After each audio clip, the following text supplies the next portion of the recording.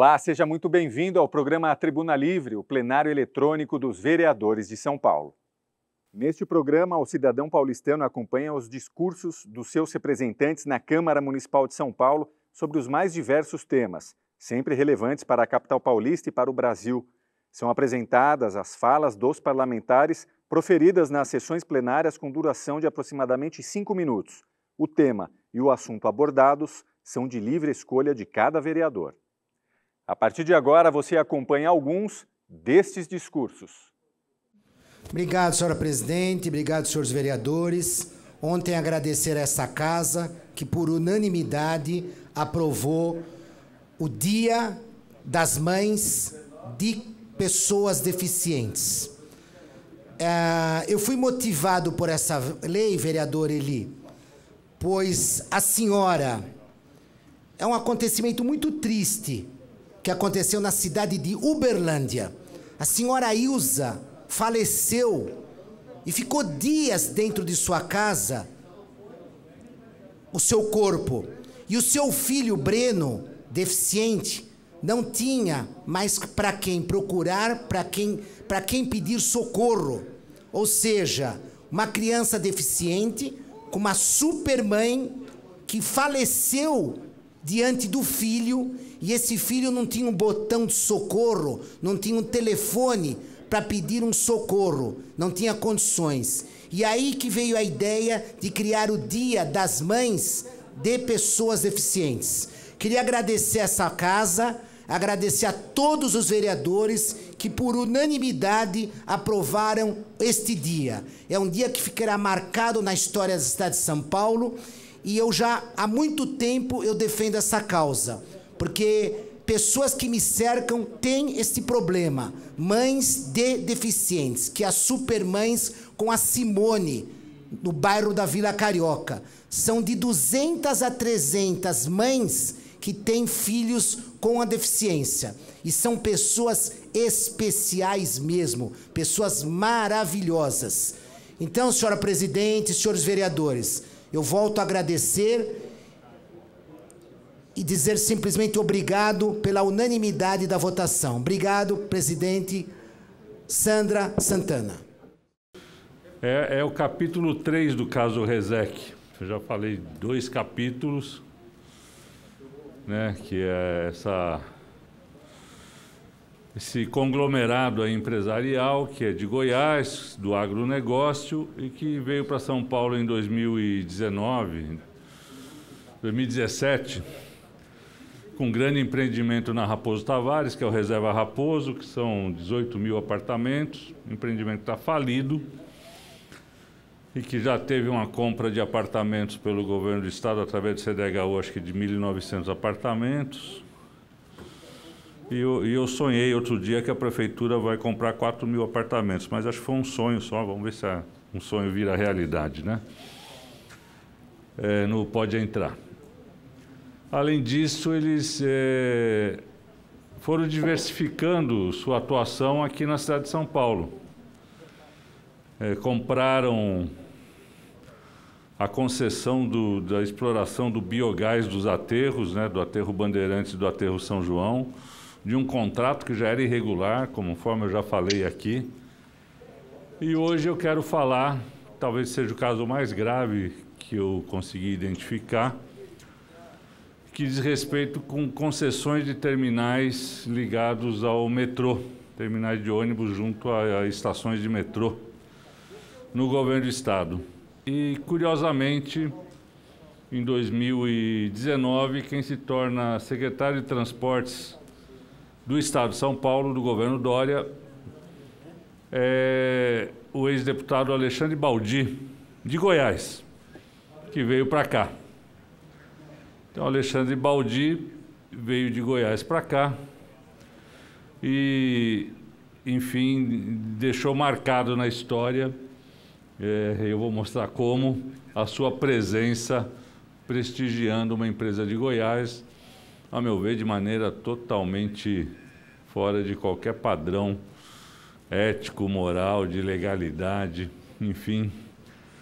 E é um caso que eu queria trazer a vocês aqui né, vocês Como todos sabem, a gente, eu sou vereador aqui em São Paulo, mas fui eleito deputado estadual, então é um caso que é estadual, que assim que eu assumi na Assembleia, em 15 de março, eu pretendo uh, protocolar CPI, enfim, todos os instrumentos para garantir o interesse público nesse processo.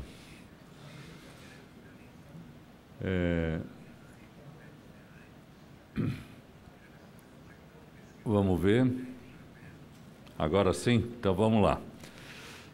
É bem rápido e fácil de entender. Fácil de entender explicar a lógica dos acontecimentos, difícil de entender as razões que estão por trás disso. Como eu disse, o Grupo Resec, ó, 2017, lançamento do Reserva Raposo.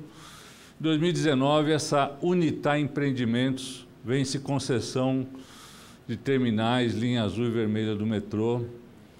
É, e depois, uma outra empresa constituída pelo, pelo Grupo Resec, que é a Ductus, vence a concessão de terminais da linha verde do metrô concessões de 30 anos, que permitem, inclusive, pela legislação que nós aprovamos aqui, verticalizar, construir é, em cima dos terminais, ou seja, uma exploração é, importante, né? Vamos lá. Mas vamos examinar como foi feita essa concessão. Aí é, chama a atenção da gente. Vamos na próxima, Zé. Próxima.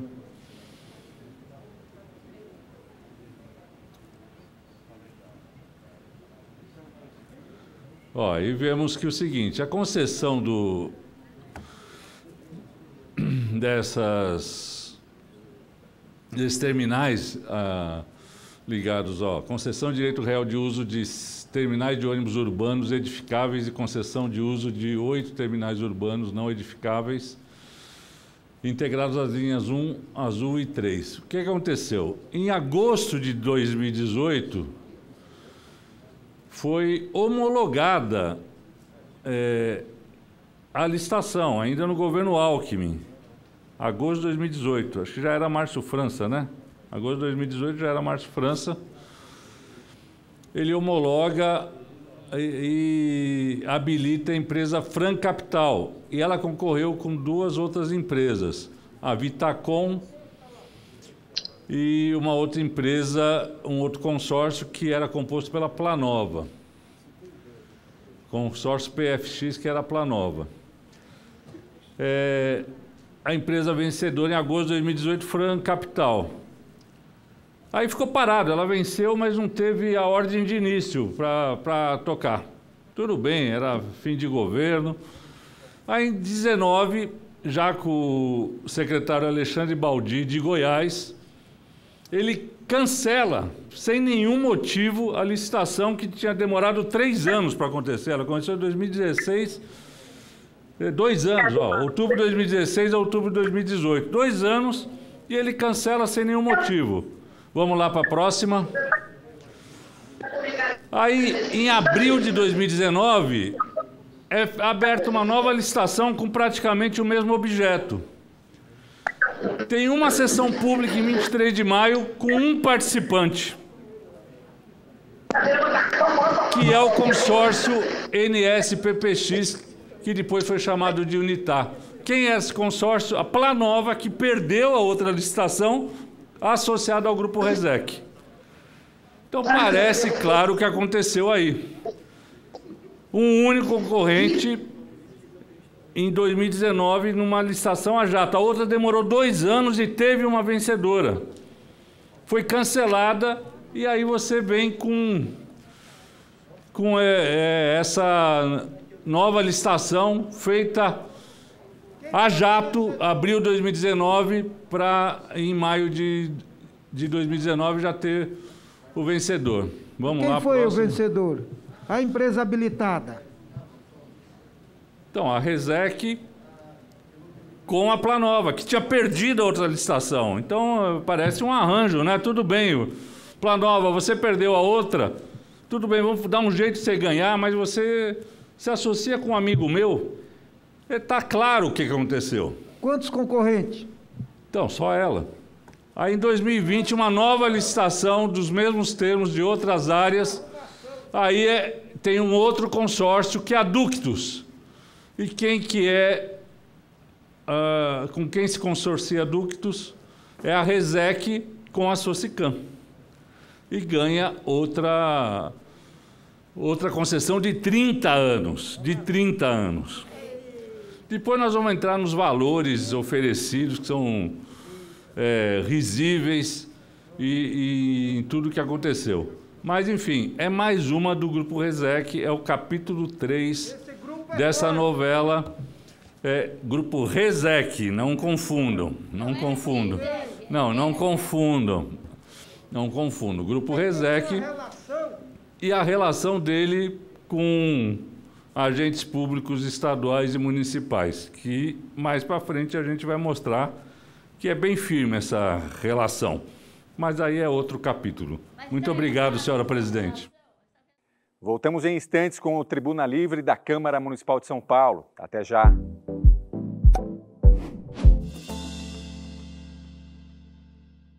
Acompanhe as nossas playlists no canal oficial da Câmara no YouTube. É só apontar a câmera do seu celular no QR Code que aparece aí na sua tela.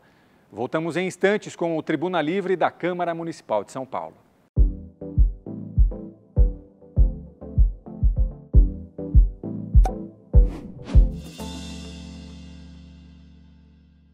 Olá, estamos de volta com o programa Tribuna Livre. Fique agora com mais discursos dos vereadores de São Paulo. E eu trago aqui hoje dois assuntos para falar. O primeiro assunto é um assunto que nós discutimos na Comissão de Educação, Cultura e Esportes, aliás, na semana passada, e também discutimos em audiência pública o fechamento de salas do, do que, para quem não conhece, Educação de Jovens e Adultos na Rede Pública Municipal. Na reunião, foram apresentados diversos dados mostrando a diminuição de matrículas e de escolas que oferecem educação a este público, ao público jovem e adulto. A nossa comissão, aliás, da qual faz parte o vereador Janás, o vereador Suplicy, eh, o vereador Eliseu e tantos outros, a nossa comissão recebeu denúncias de fechamento das salas de EJA nas 13 diretorias regionais de educação da cidade é um número muito grande de jovens e adultos que têm o acesso à educação negado. Importante lembrar que esse é um direito constitucional não se trata de bônus ou favor, mas sim do direito à educação de todos e todas.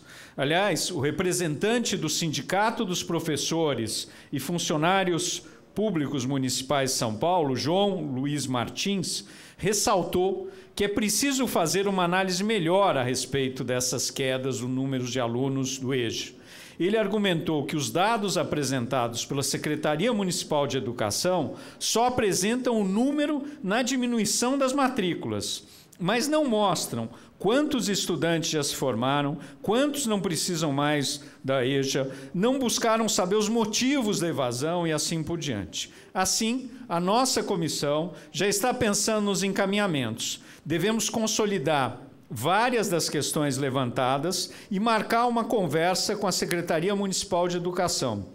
Mas já reforço aqui a importância de mantermos e ampliarmos a EJA, porque a EJA é fundamental para aquele jovem ou para aquele adulto que não conseguiu muitas vezes completar o seu ciclo de educação municipal, e a EJA é essa oportunidade. Por isso, fechar salas de EJA, a gente ter um número menor de alunos não faz o menor sentido e, portanto, a Secretaria de Educação tem que ter como das suas prioridades nos ajudar a discutir esse assunto e ampliar a capacidade da EJA na cidade de São Paulo. O segundo assunto que eu queria trazer aqui hoje é chamar a atenção sobre um projeto que a gente nos últimos dias recebeu, que foi feito pelo Cônsul Geral da República da Coreia do Sul. Eh, que quer criar uma espécie de Koreatown no bairro do Bom Retiro.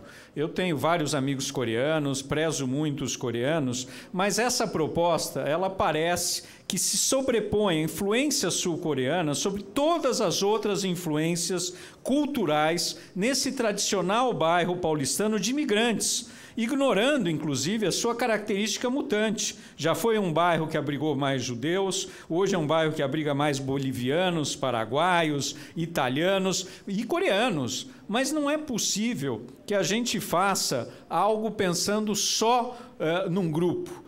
As melhorias propostas, inclusive, têm sido contestadas pelo coletivo É o Mundo, um grupo formado por dezenas de instituições antigas do bairro Bom Retiro, inclusive a Casa do Povo, o Instituto Criar e o Teatro de Container Munguzá.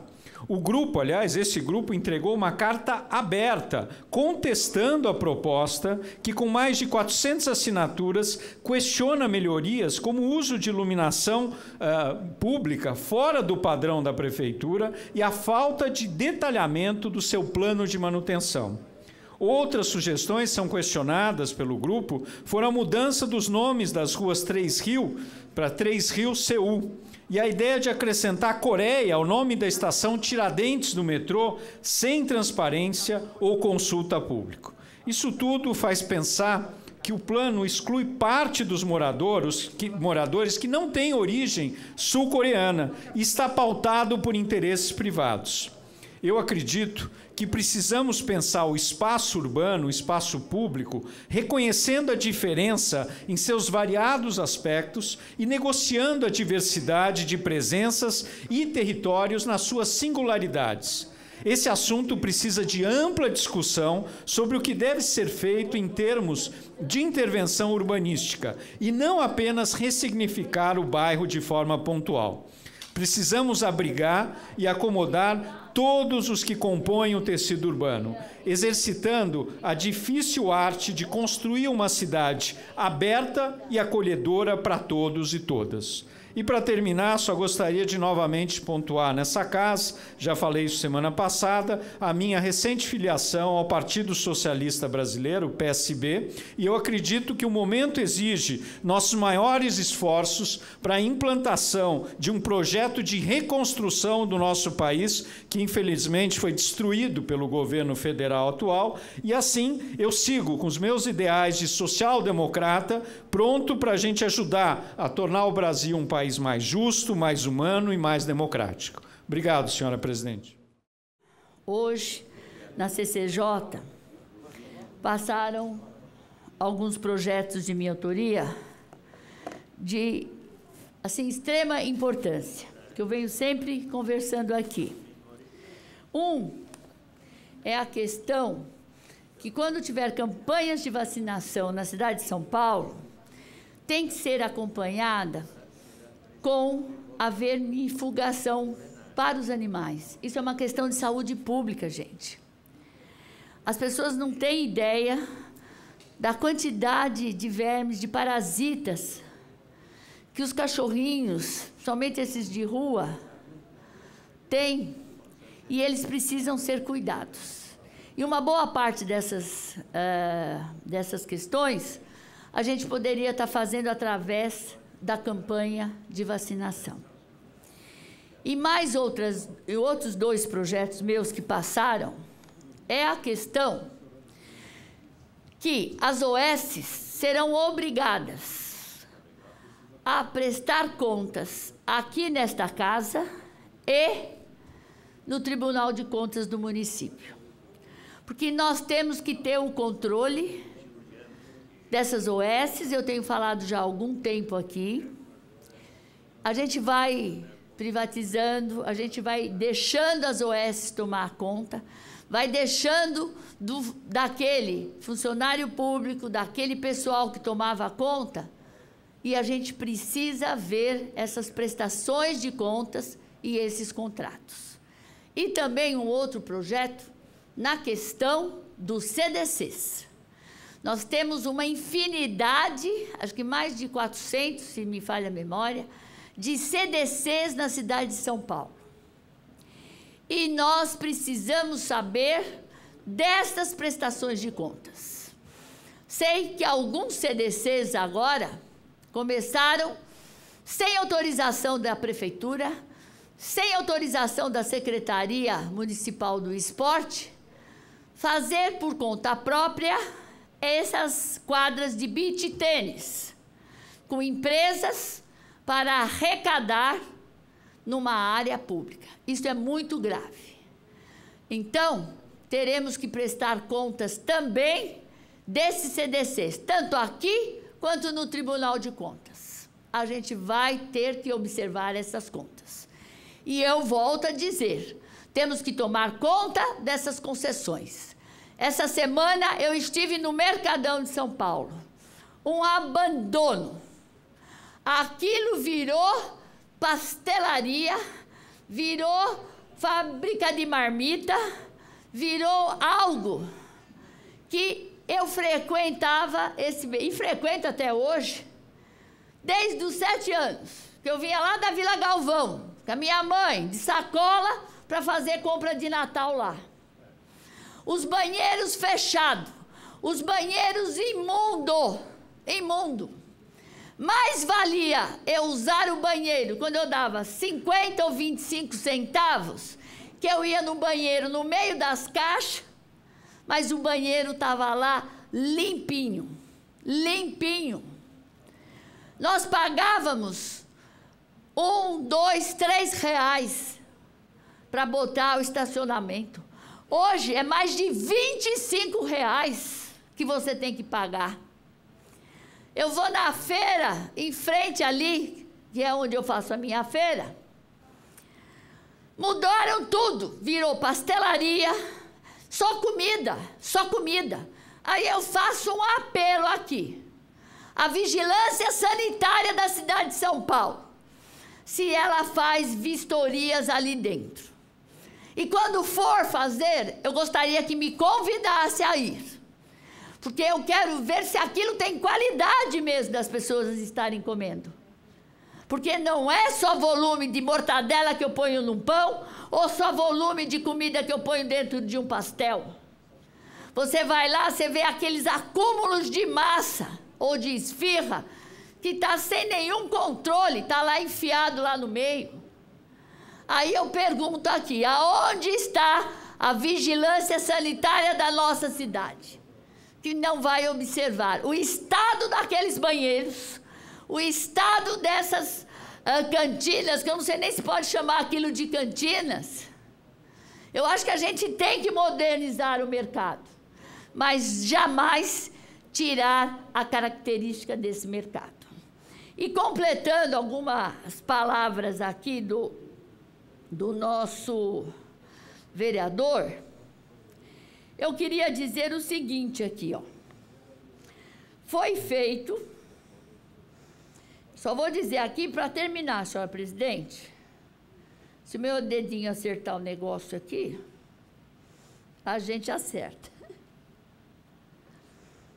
Ó, o Diário Oficial do dia 22 de setembro, processos da unidade sub, CAJ, chamamento público comunicado com a finalidade de dar publicidade à subprefeitura comunica que o Consulado Geral da República da Coreia em São Paulo, escrita no CNPJ número 044269020001 barra 45, tem o interesse em celebrar termo de doação com a municipalidade, tendo por objetivo a requalificação da área do Bom Retiro através de atualizações do sistema de iluminação da rua e a renovação das calçadas do espaço situado na Rua Prates Coreia, entre Rua Ribeiro de Lima e Rua Guarani, Bom Retiro, São Paulo.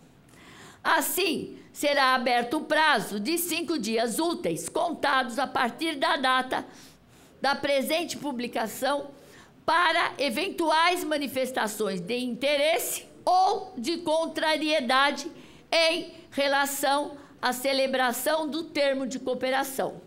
E aí eu lhe pergunto: ninguém foi lá e compareceu dizendo que não gostaria ou que também gostaria de fazer um termo igual a esse em outro pedaço do Bom Retiro. O que a gente não pode, aqui se fala tanto em geração de empregos, em economia. Aos 20 dias atrás, saiu a página do Bom Retiro na questão da Coreia, onde estão fazendo uma infinidade de festividades, uh, shows do K-pop, que onde há uma interação interessantíssima, onde você vê a juventude nossa falando coreano, cantando em coreano e fazendo danças típicas da Coreia. Eu acho isso uma interação na questão da educação, dos costumes de outros povos. E, o e São Paulo é uma cidade que abraça a todos. E se você for para o exterior, você vai ver Chinatown lá em Nova York, Little Italy também lá, onde se reencontra. Se você for para a Itália, também é a mesma coisa, se for para Paris, também é a mesma coisa. Então, isso é uma questão de você acomodar os povos, a, a sua cultura em determinados pedaços da sua cidade. Então, era isso que eu tinha a dizer e meu muito obrigada a todos. Essa edição do programa Tribuna Livre fica por aqui. Agradecemos pela audiência. Caso tenha perdido algum programa, é só apontar a câmera do seu celular para o QR Code que aparece aí na sua tela. Rede Câmara São Paulo, sua conexão com a política da cidade.